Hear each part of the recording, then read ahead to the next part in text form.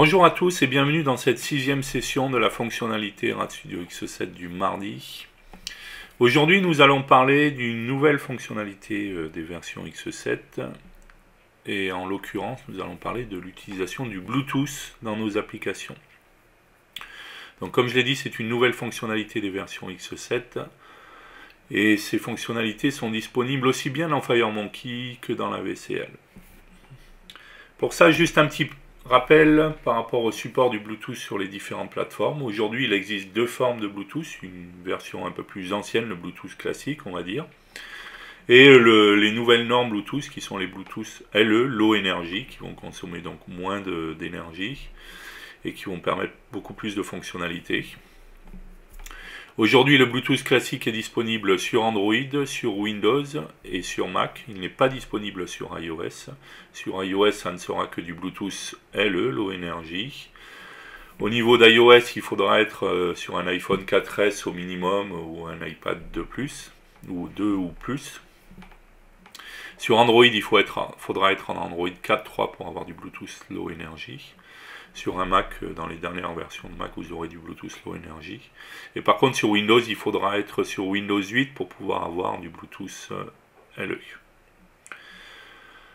Voilà, donc on va voir comment on peut implémenter les deux, types de Bluetooth, le Bluetooth classique et le Bluetooth euh, LE, puisqu'on a les deux types de Bluetooth directement valables dans le RAD Studio X7, donc que ce soit en C++ Builder ou en Delphi. Mais passons directement dans Delphi X7 pour voir comment ça fonctionne.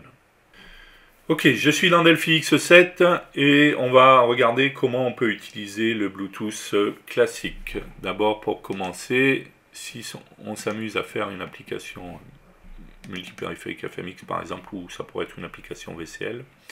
Si on regarde dans la palette des composants, on, recherche Bluetooth, on va se rendre compte qu'on a un composant, d'accord, le Bluetooth LE, donc qui va nous permettre d'utiliser les fonctionnalités du Bluetooth LE.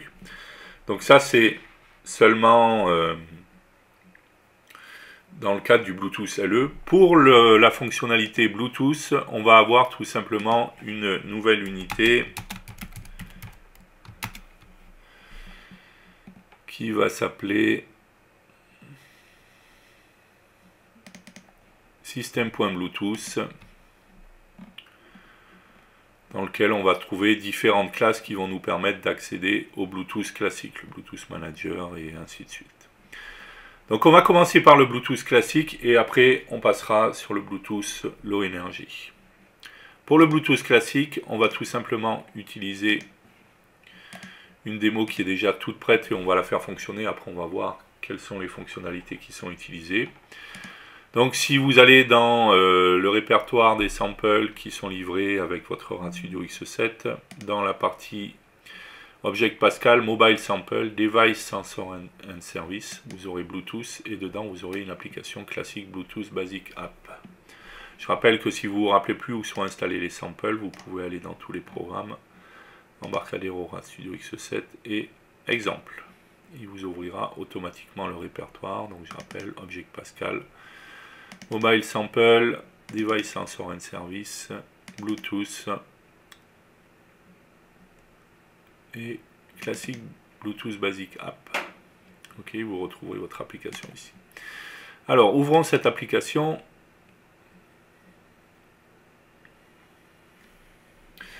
Donc bien entendu, pour pouvoir faire fonctionner cette application, il va falloir que sur mon poste, le Bluetooth soit activé. C'est le cas, j'ai bien activé le Bluetooth ici. On voit bien que le Bluetooth est activé, il est bien mis à on, d'accord. Et bien entendu, je vais euh, me connecter à un téléphone mobile. Il va falloir bien entendu que sur mon téléphone mobile, j'ai également le Bluetooth activé. Donc c'est le cas, on va aller sur le téléphone après et on va voir comment tout ça fonctionne. Alors on va d'abord lancer l'application, on va la faire fonctionner. Le but ça va être d'appairer deux appareils entre eux, donc mon PC sur Windows avec le téléphone Android avec lequel je suis, mon Nexus 4, et d'utiliser le Bluetooth pour envoyer des informations euh, euh, d'un appareil vers un autre. Ok, je vais d'abord lancer l'application sur Windows D'accord, donc j'ai un bouton pour pouvoir euh, découvrir les différents devices, les appairer, voir les, devices qui sont appairés, et ainsi de suite. Pour ça, il va falloir bien entendu que j'aille d'abord sur mon téléphone. Je suis sur mon Nexus 4. Si je regarde ici, je vais pouvoir aller dans Bluetooth.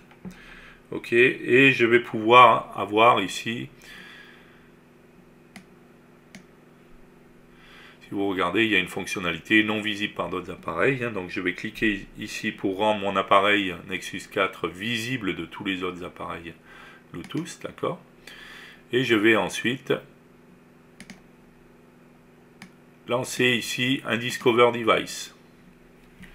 Il y a un timeout qui a été mis dans le code, donc je vais attendre un petit peu le temps qu'il le temps de chercher. Ici, on voit bien que j'ai mon Nexus 4 qui a été euh, trouvé, d'accord donc je vais tout simplement faire pair pour pouvoir appairer mon téléphone et euh, mon PC. Automatiquement, à partir du moment où j'ai fait pair, ici, il me demande l'autorisation. Il me précise qu'il y a un code qui a été généré. Et si je regarde sur mon téléphone, de la même manière, il me demande de m'assurer que le code correspond bien. D'accord? Donc je vais faire se connecter sur le téléphone et je vais faire suivant ici. Il va installer les différents périphériques nécessaires. Et j'ai bien ici, on voit bien sur mon téléphone, mon PC Vaio qui est associé et qui est appairé directement. Si on regarde dans mon application, que je regarde ici que je fais Pair Device, je vais voir que j'ai bien mon Nexus 4 qui a été appairé. D'accord? Donc très facilement, j'ai possibilité de découvrir quels sont les devices disponibles et de les appairer ou de faire un unpair pour dissocier euh, les appareils. Je vais lancer du coup cette même application sur mon téléphone Android.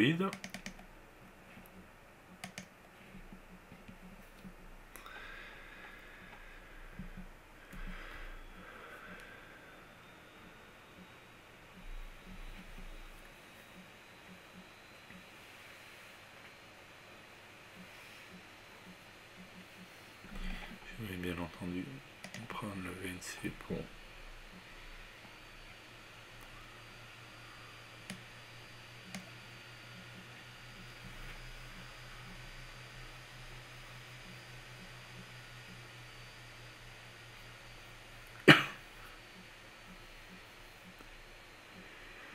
Il est en train d'installer l'application.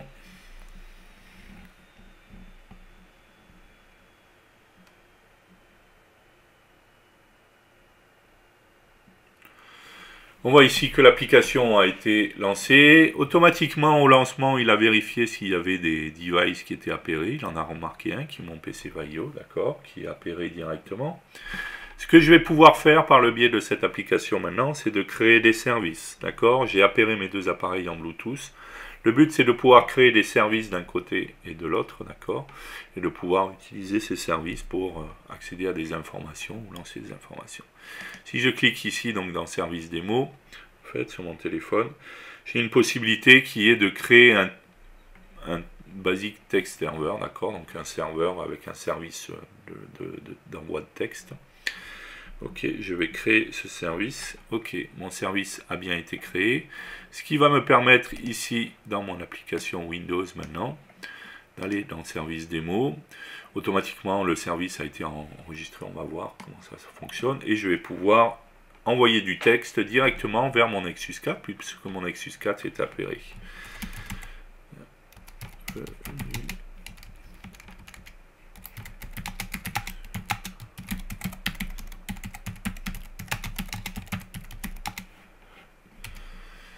Ok, et je vais faire send text to Nexus 4. Le texte a bien été envoyé et on voit bien sur mon Nexus 4, d'accord, que j'ai bienvenue sur la fonctionnalité du mardi. D'accord, donc très simplement, on a utilisé les fonctionnalités du Bluetooth classique, basique, d'accord, pour pouvoir appairer euh, deux appareils entre eux et faire transiter du texte d'un côté et de l'autre. Ok, maintenant jetons un œil, tout ça c'est très bien, mais jetons un œil un petit peu à l'application pour voir comment ça fonctionne.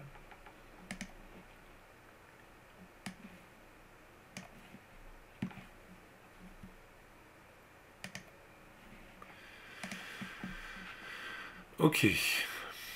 Ce qu'on a commencé par faire, c'est faire un Discover Device, d'accord? Donc, euh, dans mon application, tout simplement, j'ai rajouté l'unité dont on a parlé tout à l'heure, qui est system.bluetooth.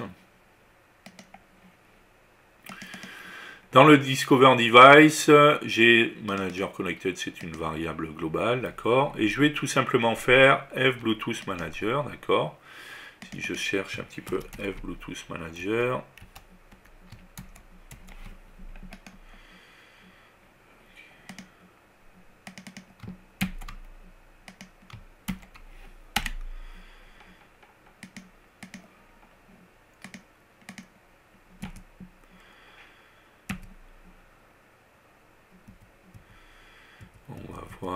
que...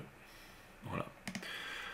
Mon form show, en fait, hein, j'ai tout simplement ma variable f Bluetooth Manager, qui est de type T Bluetooth Manager, qui est un type que l'on retrouve dans mon unité système.bluetooth, d'accord Donc quand je vais faire mon form show, tout simplement, je vais initialiser mon Bluetooth Manager en prenant le Bluetooth Manager, le courant, d'accord et si le manager est connecté, je vais vérifier s'il y a des devices à appairer, mais ça, on va voir après comment ça fonctionne.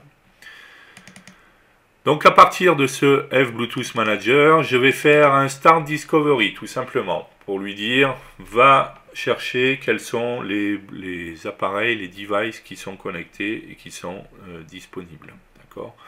Je peux lui passer ici tout simplement un timeout, c'est ce qui a été fait, d'accord, de 10 secondes, tout simplement pour lui laisser le temps de retrouver tous les appareils euh, disponibles.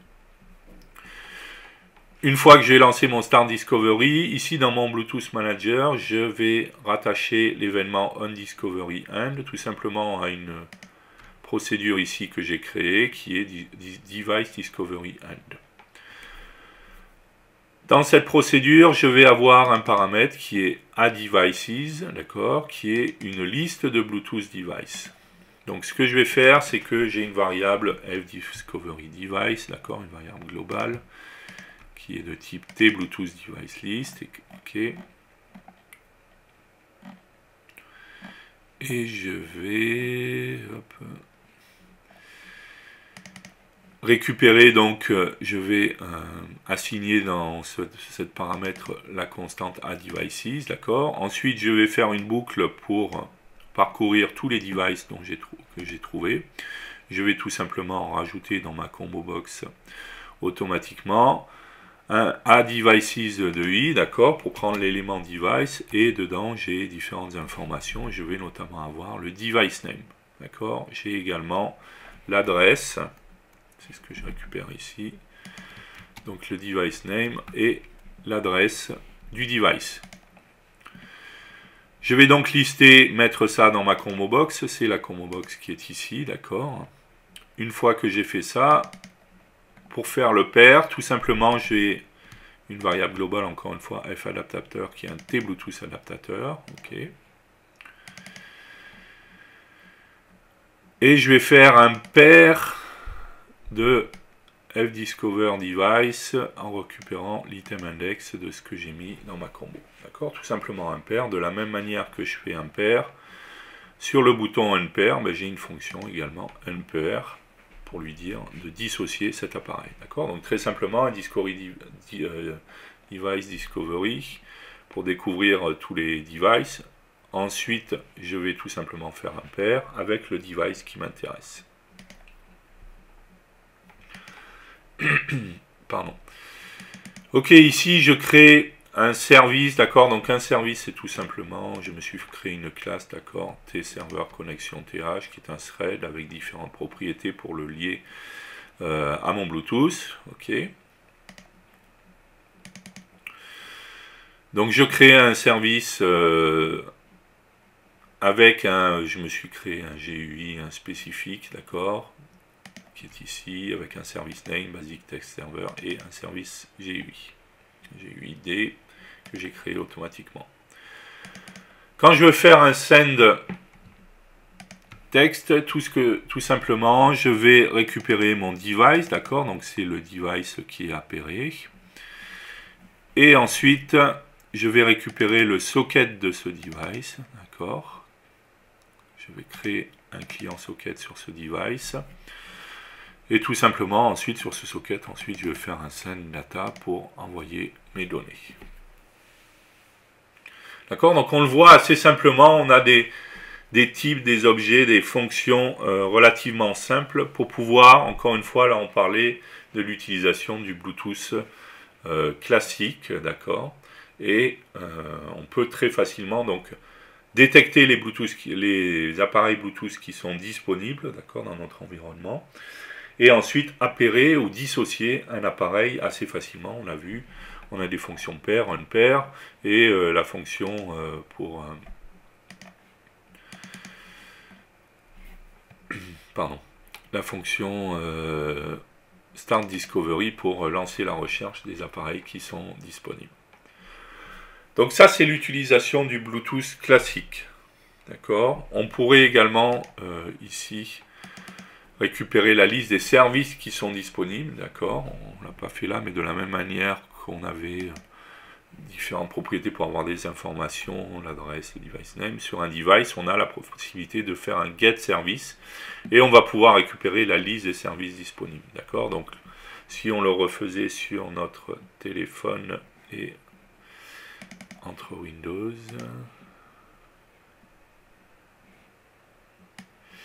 Donc il a trouvé que mon device qui était appairé c'était mon Nexus 4. Si je clique ici sur service, je vais retrouver la liste de tous les services qui sont disponibles sur ce téléphone, d'accord Et je retrouve notamment mon service Basic Text Server.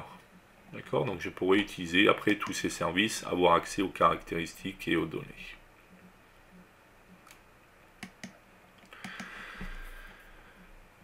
Ok, donc ça c'était l'utilisation du Bluetooth classique, d'accord euh, entre différents appareils. Maintenant, on va voir comment on peut utiliser le Bluetooth Low Energy. Ok, maintenant on va parler du Bluetooth Low Energy. Et pour ça, je vais utiliser euh, un périphérique un petit peu particulier. C'est ce qu'on appelle un e-beacons. D'accord Donc les beacons, ce sont euh, ce genre... enfin, chez Estimote, en tout cas, ça ressemble à ça. Ça peut avoir différents aspects. D'accord Donc, ce sont des euh, balises Bluetooth Low Energy euh, qui peuvent permettre de récupérer euh, pas mal d'informations.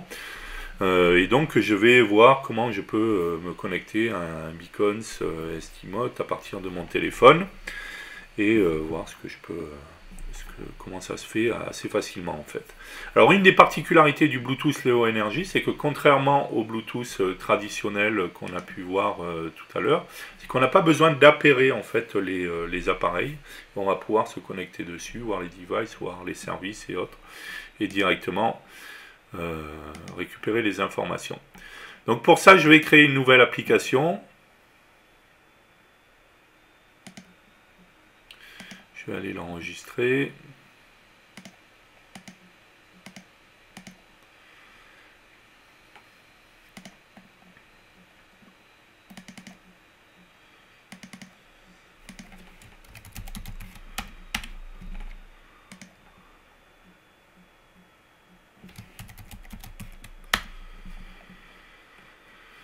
Ok. Je vais commencer par mettre un bouton. Hop, on va aligner ça en top. D'accord. Et c'est ce qui va me permettre de trouver les périphériques. Périphériques. D'accord Donc les périphériques Bluetooth Low Energy. Je vais prendre ensuite une list box. C'est là-dedans que je mettrai la liste des Bluetooth des appareils, des périphériques low énergie que je vais trouver. Ensuite, je vais mettre un autre bouton pour aller tout simplement découvrir les services. Je l'ai dit, une fois qu'on est connecté, on va voir quels sont les services qui sont disponibles. Et de la même manière, on va prendre une list box pour récupérer les informations.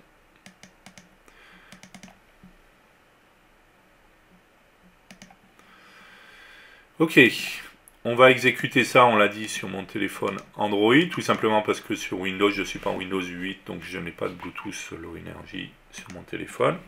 Et on l'a vu tout à l'heure, ici j'ai un composant tout simplement qui est Bluetooth LE. C'est le composant qui va me permettre euh, d'accéder aux informations du Bluetooth Low Energy. Alors, pour pouvoir commencer ici sur le bouton, pour pouvoir avoir la liste des périphériques, eh bien, en fait, très facilement, ici, sur mon composant Bluetooth LE, j'ai un Discover Device.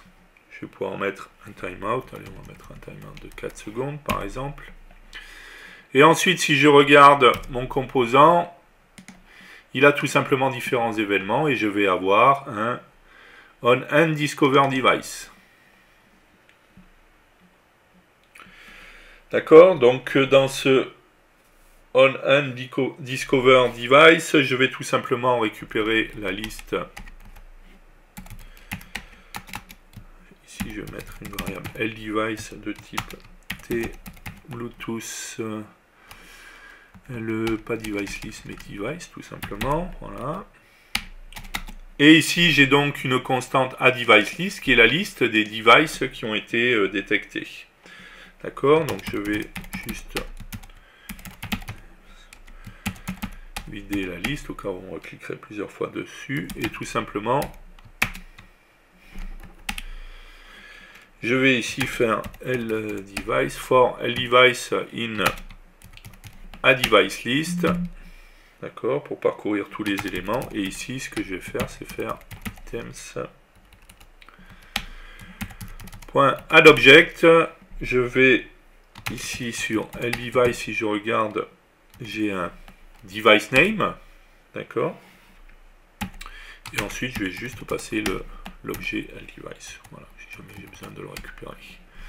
Donc ça, c'est la première des choses, d'accord si j'exécute ici sur mon téléphone, ici j'ai mon VNC,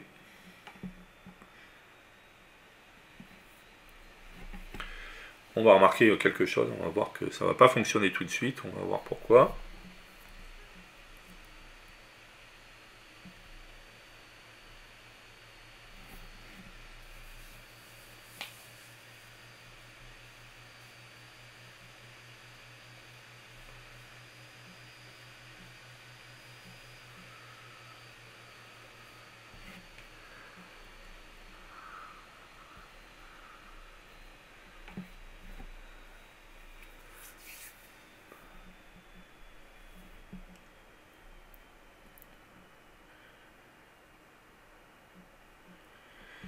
Ok, si je clique sur périphérique, on va voir qu'on a une erreur euh, Java, d'accord? Tout simplement, il nous précise qu'il nous manque des permissions, des permissions Bluetooth.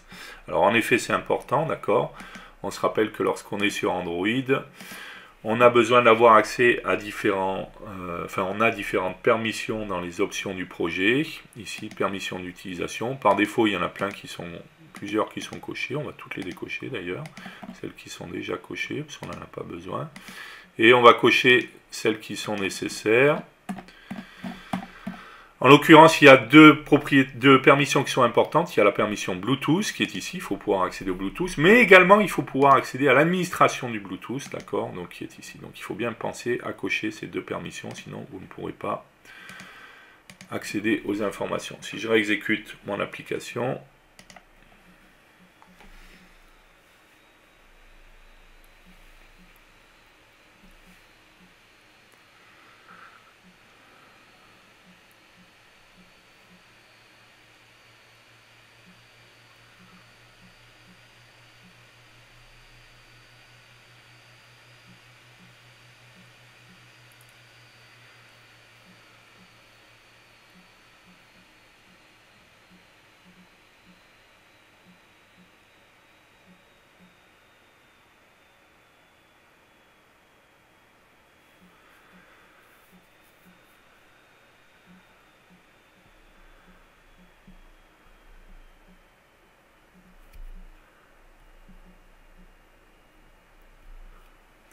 Ok, cette fois si je clique sur périphérique,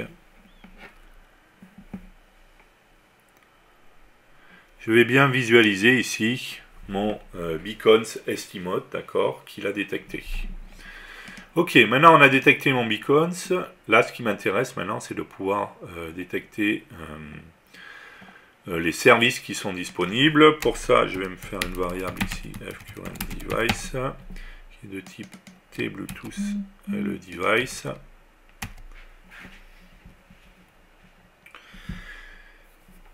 Et ensuite, ici, je vais, lorsque je vais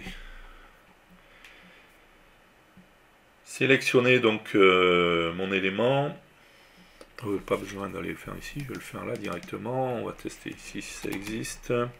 Donc if listbox 1.itemindex est supérieur ou égal à 0, à 0 pardon.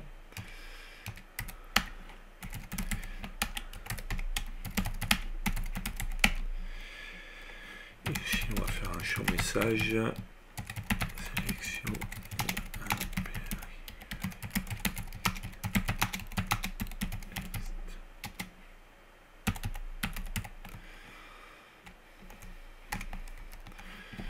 Ok.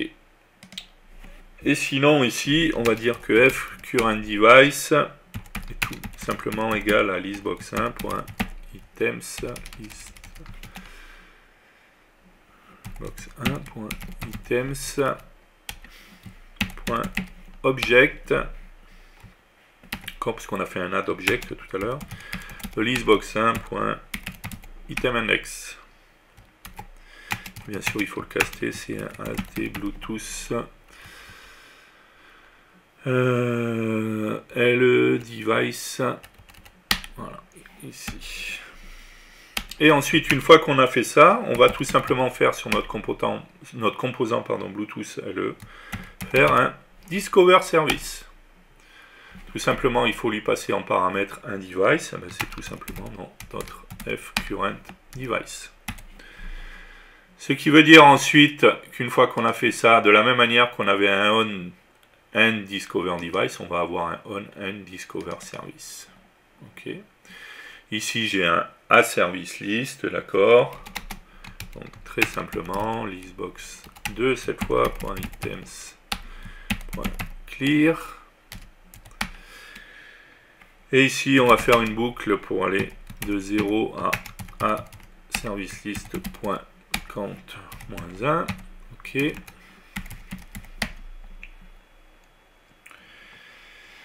On va rajouter dans notre listbox2.items.add à service list de i.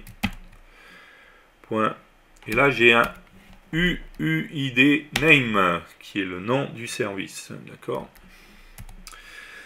et dans chaque service, en fait, je vais avoir une liste de caractéristiques. Et pour récupérer ces différentes caractéristiques, ben, tout simplement, ici, 0, tout. À service list de i, point. Et si on regarde, j'ai une propriété caractéristique, caractéristique, qui est une liste de caractéristiques. Donc, point count moins 1.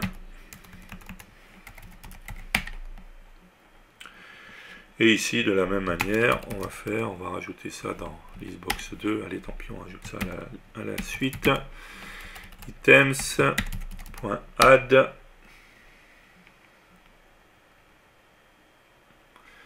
Donc c'est a service list de i. Characteristics de j et de la même manière, ici, on a un UID name. D'accord? Et en fait, ici, on va voir très simplement qu'on va pouvoir récupérer toutes les informations.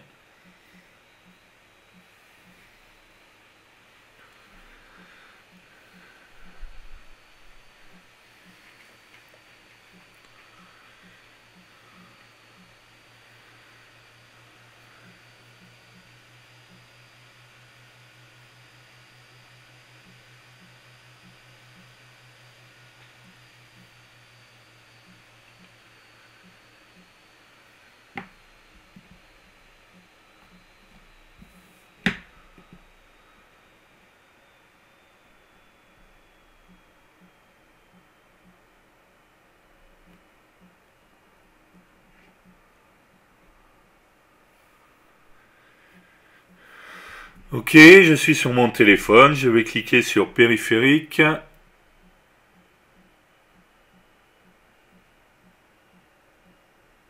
Je trouve bien ici euh, mon, mon Beacons Estimate, je vais le sélectionner, je vais cliquer sur Service.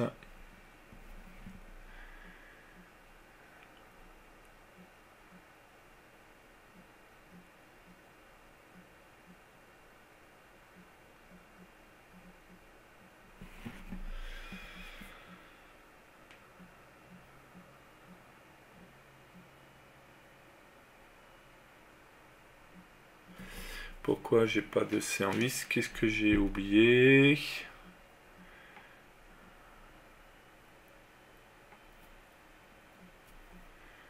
Un Discover Service.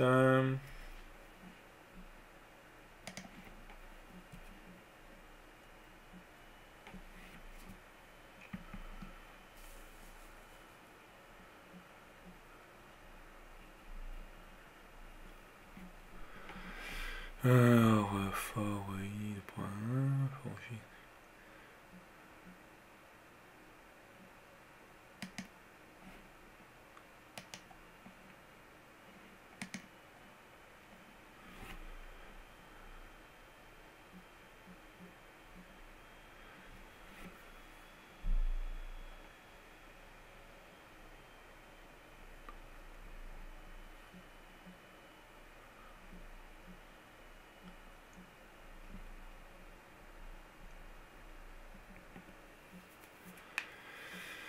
Euh, pourquoi il me trouve pas mes services? Alors, réfléchissons.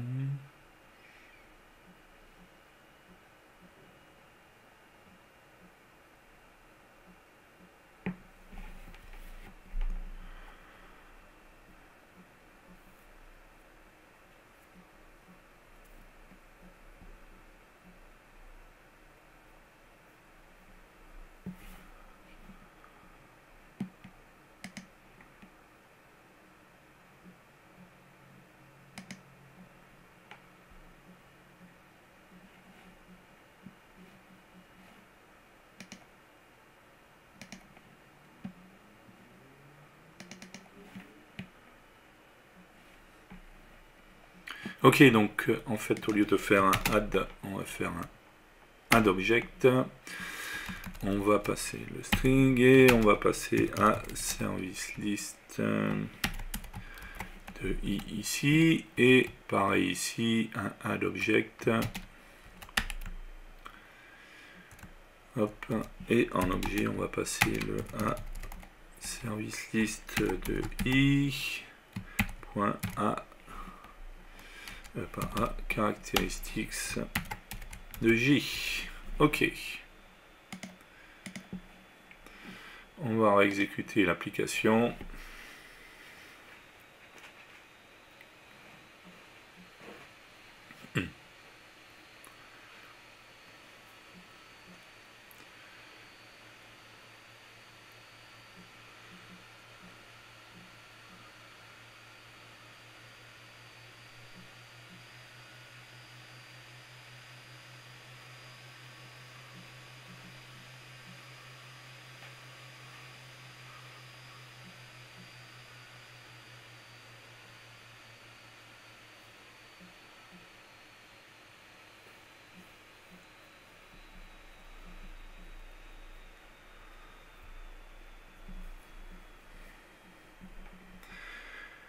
Ici, je vais cliquer pour avoir la liste de mes périphériques. Je vais sélectionner mon Beacons Estimate et je vais cliquer sur Service.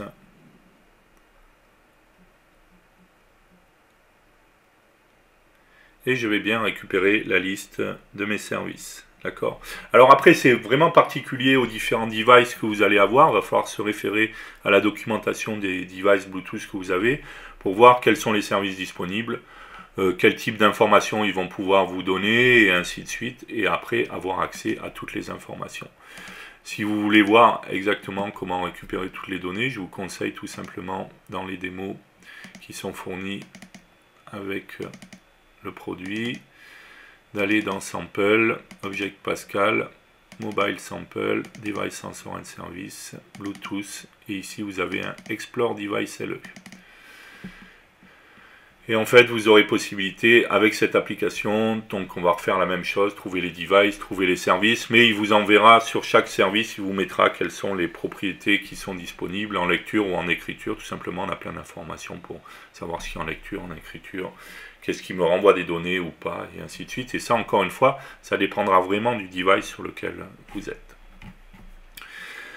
Voilà, c'était une session pour vous faire découvrir un petit peu les nouveautés Bluetooth qui sont arrivées avec la X7. J'espère que ça vous a plu et je vous donne rendez-vous la prochaine fois. Merci beaucoup, bye bye.